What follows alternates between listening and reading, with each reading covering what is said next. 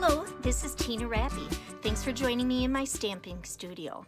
So today I want to show you, I've been busy making a bunch of these little two by two boxes that I'm going to be using uh, for later this week at my customer appreciation party. But I thought I would take a break from um, putting these all together and show you how I did them. So let me set those aside. So I started out with um, the Joyous Noel Designer Series paper, and I cut it six by six. This is the paper that has the gold shimmer in it. Um, so anyway, it's six by six, and then I scored it at two inches on each of the four sides, okay? And then what I'm gonna do is I'm gonna fold this on each of the score lines. Okay, set that aside for a minute. And then I've got some of the Joyous Noel glimmer paper. And this comes in copper glimmer, um, the Merry Merlot glimmer, and the Tranquil Tide glimmer. And this is cut three inches by three inches. And then I scored it on each edge at just shy of a half an inch on each side. Just a sliver short. Okay? So we've got that. Then what I'm going to do, and I think I'll show you on the designer paper because it's going to be easier to see. So if you imagine that this is cut into, or scored into nine squares, we're going to ignore all center squares and just work on the four outer panels. And so here what we're going to do is we're going to cut right up the score line and then I'm going to cut a little sliver here. And then the same thing here on this outer edge. Okay, so when I lay it down, whoops, hang on, let me get this a little bit better here. Okay, so when I lay this down, you can see here, there's a sliver cut out here and a little bit from here. I want to do that same thing to each of these other corners.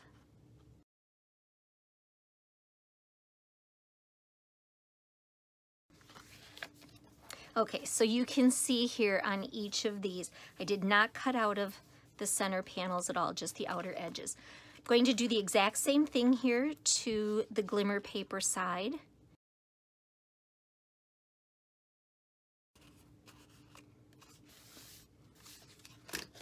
Okay, so there's the lid. For putting the lid together, because this is the glimmer paper, I like to use the mini glue dots here. So it helps it to stick better than, um, than the snail.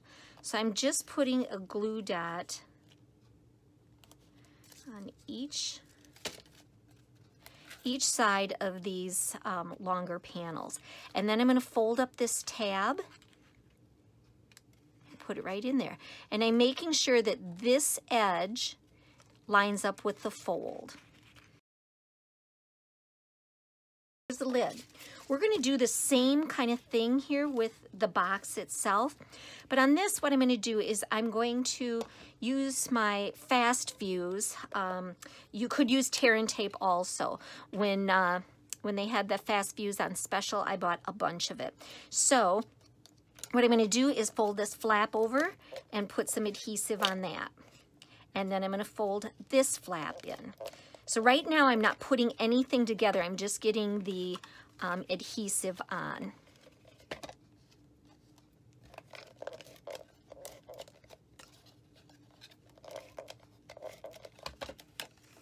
Okay, so adhesive here and, oops, stick it down, come on and adhesive here. Now we're going to put it together. So same thing, it's going to go to the inside and I want to make sure that this edge lines up with this fold.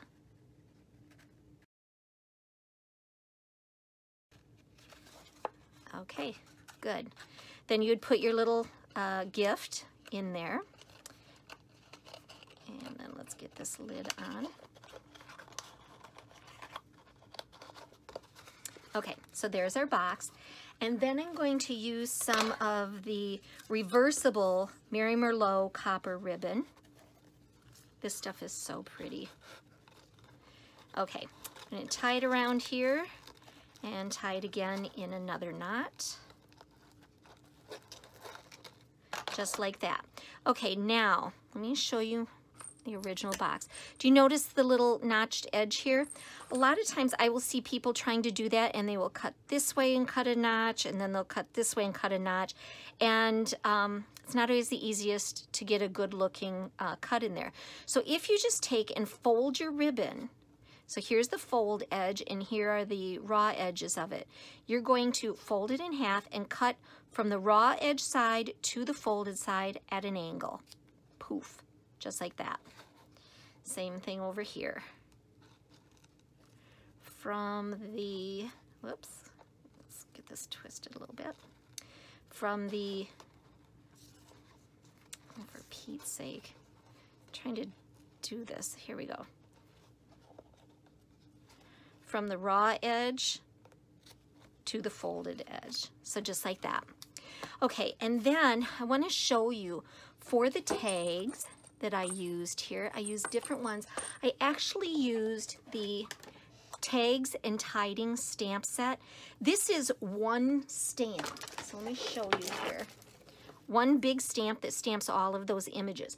So I just stamped it up, uh, or inked it up, stamped it on a piece of Whisper White cardstock, and then there are the Christmas tags framelits, and this fits perfectly over it. It will cut out every one of your tags at once and it also puts a little hole in the tag for tying it on. So you stamp it once, you run it through the Big Shot once, and you end up with all kinds of really pretty tags. Isn't that cool? What a time saver. So then, let me just get those out of the way and we'll finish this up. So I'm gonna use this one that says no peeking. And then you, uh, you would use our Whisper White Baker's Twine.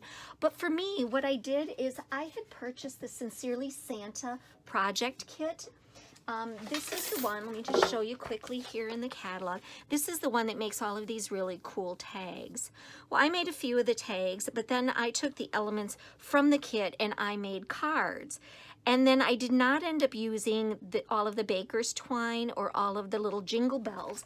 So I thought, hey, why not use it for this? So the baker's twine that comes in that Sincerely Santa Project kit comes on a little spool like this. And so I'm just gonna thread that through and let's cut off the length of it. Okay, and then where did I put my jingle bells? Right here. I'm gonna use a couple of the jingle bells. Now, if you've already used all your jingle bells from your uh, Sincerely Santa tag kit, um, you could just purchase little jingle bells at the craft store. All right, and then there's little holes on there, so we'll see if uh, doing video, if I have the ability to thread this or not.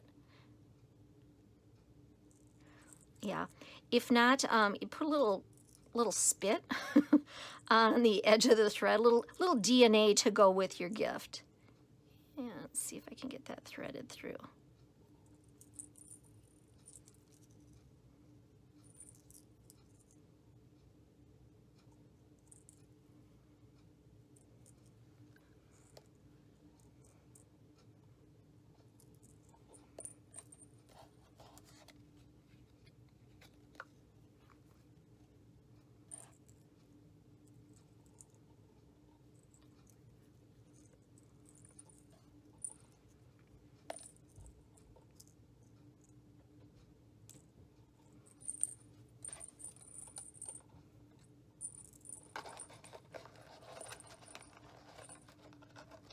Okay, and then I'm going to thread this under that ribbon and I want to get that jingle bell through there too. Okay. And then I'm going to tie this in a knot, tie it in an another knot, and then in a bow.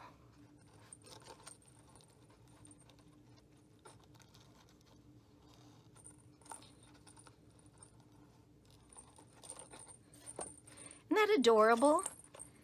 So as you can see here, I've used um, the three different colors of glimmer paper. I'm using up all the ties. Got a little noise here, a little gift inside. Um, so it's a super quick, easy way to do it, especially when you're mass producing. I just cut up a whole bunch of chunks of the six by six um, paper for the boxes, three by threes for the lids, and I'm going to town on these. So I hope you enjoyed your visit today, and I'd love to have you come back another time. Be sure to pop over to my blog and see some of my other creations, and that's stampinstudio.com. Thanks and happy stampin'.